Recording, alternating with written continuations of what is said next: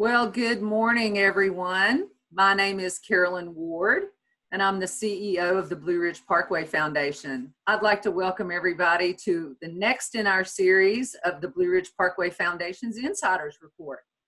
And this week, we're joined by Jordan Calloway, the Development Officer with the Foundation, and she's going to be talking about Flat Top Manor and the estate of Moses and Bertha Cone. So it's going to be a fabulous presentation with a whole lot of background and insight about the life of Moses and Bertha Cone. And then we'll talk a little bit about some of the restoration work that's on tap to start soon at Flat Top Manor. If you move your mouse over your screen, you will see down at the bottom a little Q&A. You can click that and submit a question and we will try to get to as many of those at the end of the presentation as we can. We're also recording this webinar and we'll be sending it out later. So once again, thank you all so much for joining us. It's going to be a fabulous presentation. If you have questions, please once again submit them to us and we'll try to get to as many as we can. So without any further ado, I'd like to welcome Jordan Calloway, who will give us a little insight into Flat Top Manor and Moses and Bertha Cone's estate.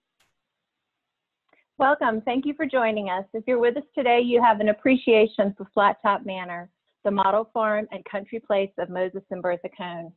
Built in the North Carolina mountains on the Cone's 3,600 acres, this grand home is symbolic of the era's spirit of progress. Completed in 1901, Flat Top Manor features 23 rooms and was once surrounded by a complex of supporting structures. This manor house was the country home of two first generation Americans, Jewish and the children of German immigrants. This estate symbolized their tremendous success in textiles and their desire to share this success with others. So, how did they end up in Blowing Rock? Just as we're drawn to the high country today by the cool mountain air and the beautiful vistas, so was the Cone family. They had vacationed for quite some time in the Blowing Rock area this photo shows Caesar Cone and his other family members enjoying their time in Blowing Rock. So Moses and Bertha would vacation in the area and decided to build a permanent home there. They had a shared love of the high country and began purchasing property there early in their marriage. They married in 1888 and first bought property in 1892. So this is just a few years into their union. They decided to plant a, mo a model farm where they would exhibit the latest agricultural techniques. They also had a desire to better the lives of others so they could share these techniques with the larger community. So soon after purchasing property, they began to clear land for planting. Moses Cone had crews come clear the land so they could plan all the planting for his fruit orchards, vegetable gardens, flower gardens, uh, he had 25 miles of carriage trails. He acquired livestock, sheep, and cattle to feature on their model farm. He also imported deer for, from Pennsylvania for two deer parks that he had on the property. This involved years of detailed planning.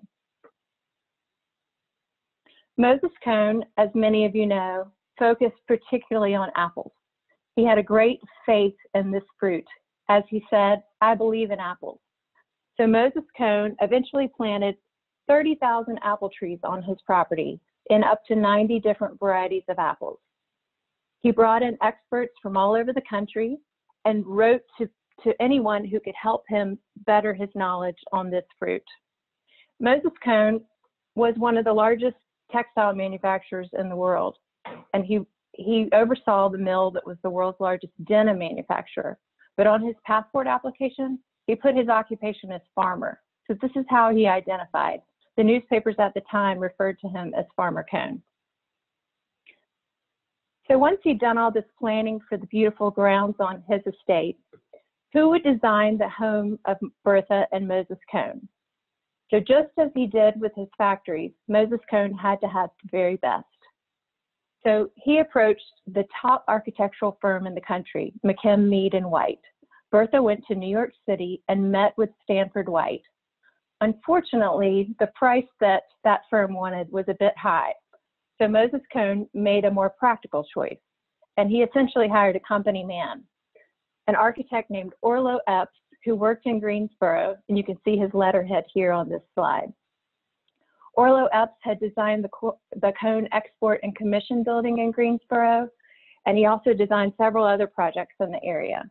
He had a short but prolific career in Greensboro. He designed the two main buildings at what is now UNCG.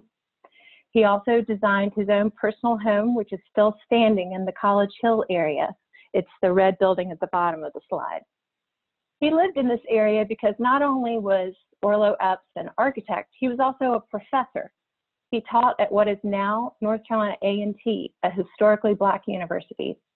He was a very interesting person. He was not only an architect and a professor, but he was also an inventor and he dabbled in economics. He later wrote a book on socialism, which is very interesting considering he was building a house for one of the richest men in Greensboro. So this house that he designed for Moses and Bertha Cone in the high country, what would it feature? Of course, it had to have the latest innovations. So not only did the grounds feature the latest agricultural innovations to display for surrounding communities, the house featured the latest technology. So they had hot and cold running water, and as the people of, of Blowing Rock could see, um, you can see Flat Top off in the distance here. The day they turned on the lights at Flat Top Manor was a special day indeed, as they had carbide gas lighting in the home. So he brought modern technology to the high country. But of course, technology that he depended on for continuing to run his businesses, he required communication. So he had a telephone system installed. So it was the first private home with a telephone in the high country area. So he was able to continue to communicate with his colleagues in Greensboro, New York. He could also easily access Greensboro thanks to the Lenoir train. So he could leave Greensboro in the morning and make it to Blowing Rock by nightfall. He depended on this because not only was he developing the huge estate in the high country, but he was continuing with his brother Caesar to develop his textile business. And what did his business associates when they visited Flat Top Manor see? Well, they were greeted by a beautiful home that's much different than the home we see today. Bertha Cone was known as a meticulous housekeeper who insisted upon perfection. Guests of the day have noted that the floors were gleaming, highly polished. They were topped by Turkish rugs. There was porcelains from Japan and Asia on every surface. They displayed their treasures that they had collected from around the world. This wooden tray on the bottom right is from China, and this belonged to Bertha. But Etta Moses' sister, had a similar tray because she admired it so much. She picked it up on their trip. So, surprisingly, this home in the high country of North Carolina in the first few years of the 1900s featured works of art by modern artists. This may not seem shocking to you today, but they had works by Pablo Picasso, who was not a known entity at this time. The Cone sisters were among the very first to collect Pablo Picasso. They first met him in 1905, and this study that's shown here on the left, Woman with Loaves, was a gift from Etta to Bertha Cone. It belonged to Bertha, and it was on display in the library at Flat Top Manor. This study was for a work that was eventually part of the collection of Philadelphia Museum of Art. So while it's a rather traditional work, this is a very cutting edge piece to have in your home, as Picasso was a very modern artist. They also had two works by Renoir. Le Chapeau Épingle was the hat pin, which the original lithograph was luckily in our exhibit that we partnered with BRAHM on last year. And we were able to borrow this from a Cone family member there was a third Renoir in the house as well, which we did not have access to. So how did these great works of art end up at Flat Top Manor? Well, Moses Cone was the oldest in a very large German Jewish family, 13 children. Moses and his brother Caesar, as the two oldest siblings, had a certain amount of responsibility for the rest of the family, especially their unmarried sisters. So from a young age, they helped their father with his business, his dry goods business, and they eventually partnered with him. So this cigar box is in the collection at Appalachian State University, and it shows Herman Cone, who emigrated from Germany to Virginia on the far left. Moses Cone, Caesar Cone, and Monroe Cone, who there's been less written about him as he died before age 30. So while the brothers went to work early with their father and devoted their life to their textile, their dry goods and then textile business, the sisters lived a very different life. Much has been written about the two famous art collectors, Claribel and Etta Cone. They lived a life filled with culture and travel. There was a third sister, though, the oldest sister, Carrie Cone Long, who eventually settled in another Parkway community, Asheville, and she lived a very different life than her two unmarried sisters. She spent a lot her life devoted to her family, to her faith, and to her community. Her husband managed one of the Cone family mills in Asheville. So back to the two Cone sisters who, collected. Claribel is shown here on the far left. She was a physician who graduated at the top of her class from the Women's Medical College of Baltimore. And Etta on the far right who preferred music and art and tended to care for family members. They befriended Gertrude Stein, who was also a, a German Jewish woman who lived in the Baltimore area. And of course, Gertrude Stein would be, later be well known as an author and an art collector as well. So it was through the Stein family that they met Picasso and later Matisse, whom they've mostly been associated with due to their major collection of Matisse works. Bertha Cone, Moses' wife, was, as her sisters-in-law, a Jewish woman from Baltimore. She was also extremely close with her siblings. Her two closest siblings were Clem and Soph, who are shown in this photo. And I hope you can appreciate Bertha's hat. She's the one on the far right with the very fashionable hat. So how did Bertha and Moses meet? They were part of a close-knit Jewish community in Baltimore we're uncertain of when their cross uh, when their paths first crossed, but possibly it was as teenagers. There is a record where Rabbi Benjamin Szold, who was a major religious leader at the time in Baltimore, oversaw a ceremony for 10 boys and 8 girls at the temple. And among the 10 boys and 8 girls were Carrie Cone, the eldest Cone sister, and Jacob Lindau, who was a younger brother of Bertha Lindau Cone. We know for sure that Moses and Bertha had met by 1884. This is when they went on their first date, and it was to a horse race. They went to Pimlico, which is a well known horse track in Baltimore. And I think this is fabulous considering the Cone Estate's long connection with horses. If you've been there and enjoyed the carriage trails, which have always been open to the public, they've long been associated with horses. And here's some other photos of Caesar Cone with his horse-drawn carriage in Greensboro and on a horseback. So the first date must have been a success. As they married at the Lindau family home, the ceremony was officiated by Rabbi Szold on February 15, 1888. And as I said, a few years later, they started planning their high country home. This home would be a model farm that would benefit others. They would also use their estate to entertain business guests. It was a recreational paradise. This photo, this beautiful photo of Bass Lake, shows it was one of two stocked lakes, Bass Lake and Trout Lake, on the property. They also had a bowling alley on the property, a tennis court, a croquet lawn. It was a wonderland for their guests. And it was also wonderful for the surrounding community as they allowed others to come on their grounds. All that they asked was for people to not hunt on their property.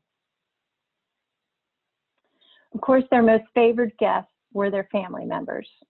And I wanted to include this slide as it's a postcard that Etta Cone sent to her friend Gertrude Stein in Florence, Italy. And she carefully noted on the back that this red roof was inappropriate, that the roof was still green. But I just think it's wonderful to think that you could go into town and purchase a postcard with your brother's house on the front. So while Moses and Bertha Cone are developing this major country estate in the high country, Moses Cone and his brother Caesar are building their textile empire. It caused him a great amount of stress. His health was declining. He had personal and professional conflicts while he was building this textile empire.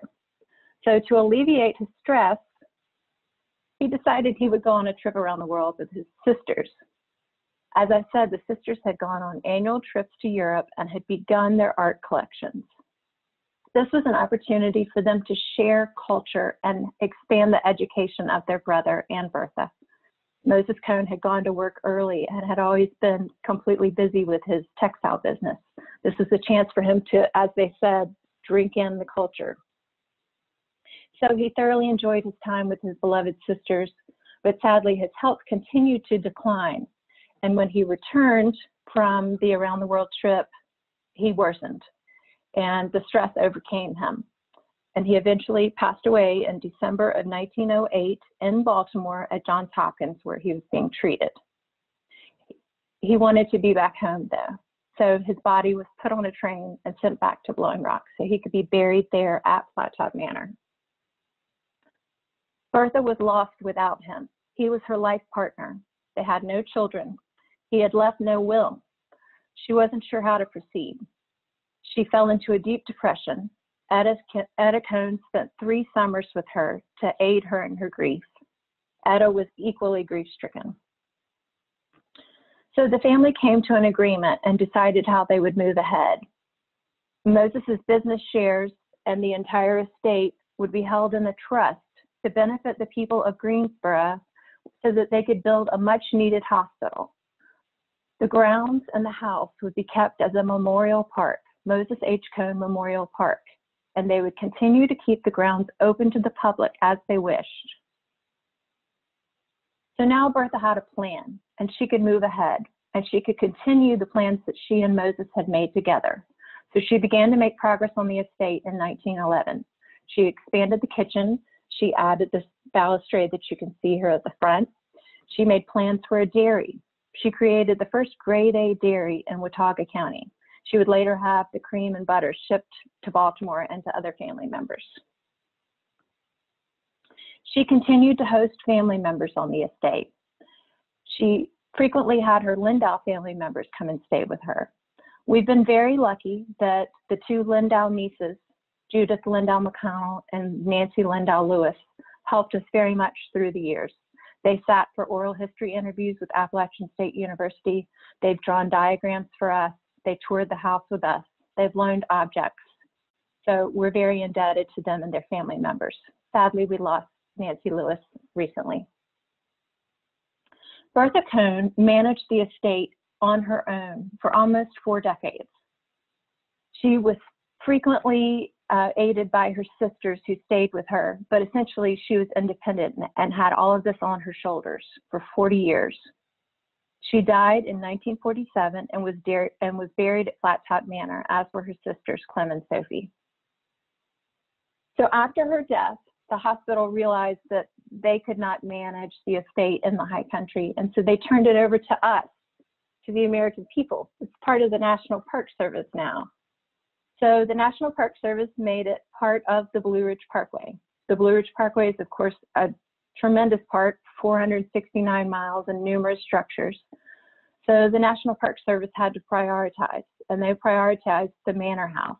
They were forced to remove over 50, 50 buildings on the estate, but they continued to care for the Manor House and the grounds and kept the grounds open to the American public. Over 200,000 guests a year visit Flat Top Manor, and sadly, this is the house that they see as a wooden structure in the high country facing high winds. It's weather beaten. It needs critical care. This is where the Blue Ridge Parkway Foundation comes in. We are the primary fundraiser for the Blue Ridge Parkway. So we are assisting them with the many needs of Flat Top Manor and the estate. Some of the things that we've accomplished thanks to our donors' tremendous support is we've expanded the outreach and interpretation for Flat Top Manor. Uh, several years ago, we commissioned a play about the design and creation of Flat Top Manor. We've also worked with Tim Larson to create a map that we make available to guests on the grounds, and we print and give away for free thousands of copies of this map each year. We also funded the work necessary to have the estate placed on the National Historic Registry. We've also funded multiple cultural landscape reports. We've also funded an intern who's done further research on the estate. There's so much that can be learned about this wonderful place. Every year we have an annual celebration in Blowing Rock. Last year we were lucky enough to hold it on the grounds of the estate. It's the Denim Ball. Sadly, this year we will not hold the Denim Ball, so there will be income lost because of that cancellation.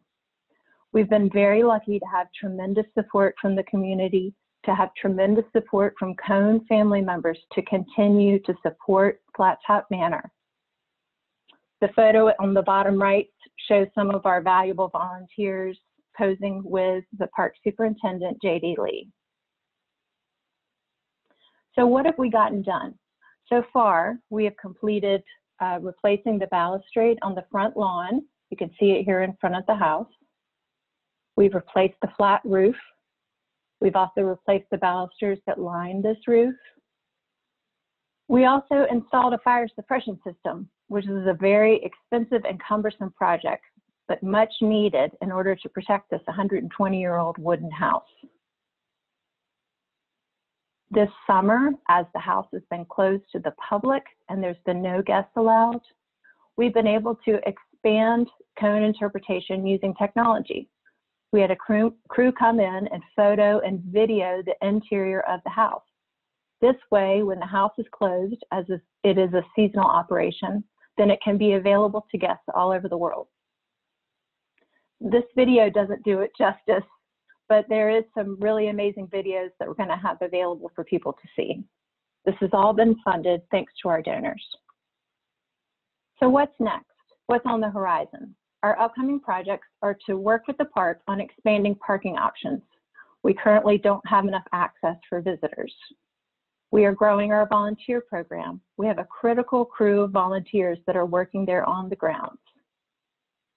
The big project we have lying ahead is completing the exterior rehabilitation of Flat Top Manor, which is desperately needed. So how can you be a part of this? You can support these efforts and help protect the legacy of Moses and Bertha Cone. We will be continuing the exterior rehabilitation thanks to the work of the Denver Service Center, which is the National Park Services agency that oversees the planning, design, and construction management for America's cultural treasures. Flat Top Manor, I think we can agree, is one of America's cultural treasures. Thank you for joining us today. I'm happy to answer any questions.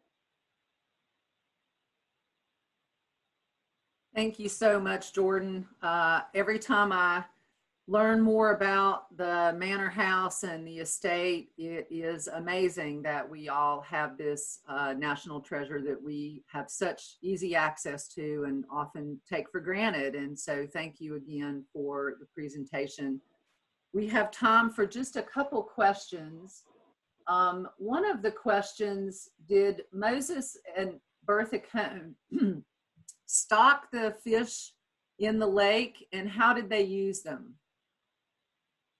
They did stock the lakes. Um, and he was a fisherman. We have photos of him fishing in Florida, and we know he fished at Bass Lake. Um, we also have letters from later on after Moses passed, where family members would be sure to write ahead and ask Bertha if they could come up and fish. Okay, and we've got time for just a couple more. Do you have a rough idea of the timeline for when the exterior renovations on the manor house will happen? We know that uh, COVID has changed park operations and facilities that open and, and close and when all of that is occurring. Do we have any idea of a timeline? You can probably help me with that as well. Uh, I know that we were hopeful that this work would have started earlier. It has been delayed, but we are meeting on a weekly basis with the park to finalize this plan. So in terms of the schedule, I know that the, the contract is being finalized in the coming weeks for sure.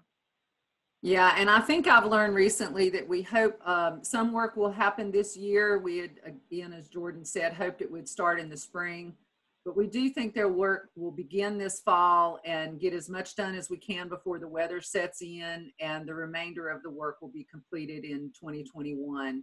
Uh, any of you that have been in the high country know what weather can be like there. So we are moving forward. It has been amazing what the Park Service has been able to do given the closures and COVID 19 and the impacts that it's had. So we are so thankful for the partnership of the National Park Service staff, of the Denver Service Center, of the region. Uh, the region office in Atlanta has been very supportive of this project, and it is an icon along the Blue Ridge Parkway. And so we are very thankful for the support of our community of stewards and our donors, the community members, organizations that have stepped up, the volunteers, and the staff of the Blue Ridge Parkway that has worked very tirelessly amidst everything else they're trying to do to help ensure that we're protecting the Manor House to, for years to come. And then one final question. Let's see, we have a whole lot of questions that are coming in. When I make a donation to the foundation, am I assured that money will go exclusively to Cone Manor? How do I make sure when I give a donation that the money is used for what I intend it to be used for? Yes, I'm happy to answer that. We carefully designate each gift that comes in. Mm-hmm. We do receive a certain amount of unrestricted gifts, but if a donor tells us that they want it for a certain project like Cone Manor, that's how it's entered. And that's how it will be used. All right, fabulous. Once again, everyone, thank you for joining us. Um, we will try to continue to answer as many questions as we can that are coming in. We will have this recorded and made available to everyone. Thank you all for your support of the foundation, for your support of the Blue Ridge Parkway. This is our national treasure. It happens to be in our backyard, but it's shared by millions all over the world. So thank you so much for helping us preserve and protect the stories, the places that hold the memories for us, and the promises for the experiences to come. So thank you all so much and have a great day. And maybe we'll see you on the estate one day soon. Thank you.